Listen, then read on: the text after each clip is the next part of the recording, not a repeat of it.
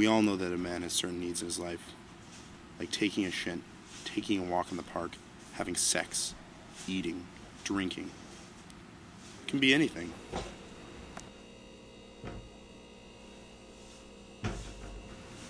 But sometimes, even the most content man ends up waking up one day and finding out there's an emptiness in his life, one which he doesn't know how to fill.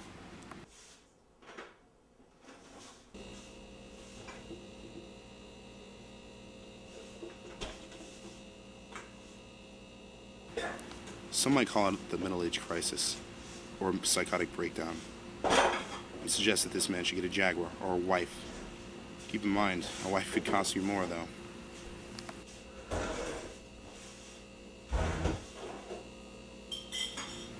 But no, it's something more.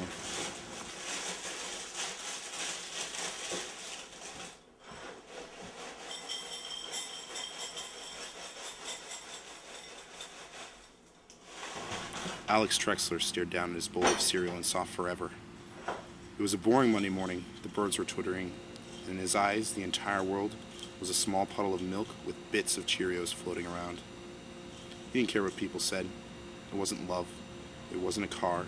It wasn't some foolish old man's need to prove himself to the world before he goes past 40.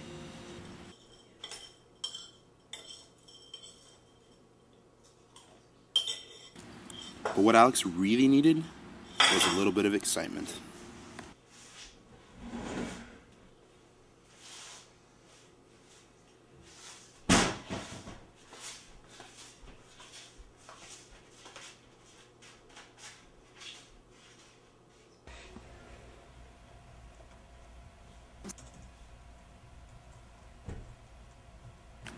He'd spent his whole life in mediocrity. He'd finally reached a point where nothing could surprise him.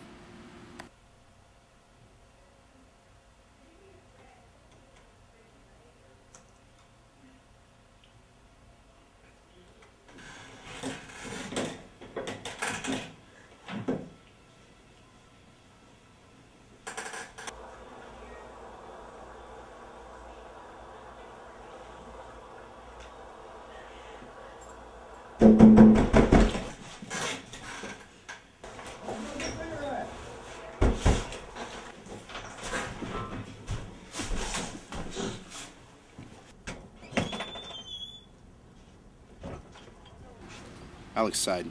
He hobbled his way out to the front door. Hey. Doing all right? What do you do today? Yeah? Wake up. How do you feel? Come on, world, he thought. Give me something new.